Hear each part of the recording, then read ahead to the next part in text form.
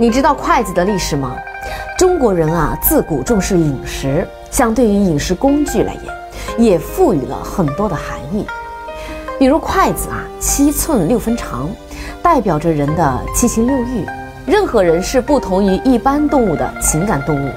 筷子圆的一头啊，象征着天；方的一头呢，象征着地，表示着天地圆方。这就是中国人对世界基本原则的理解。此外呢，手持筷子的时候，拇指、食指在上，无名指、小指在下，中指在中间，是为天地人三方的意思。这是国人对人和世界的关系朴素理解。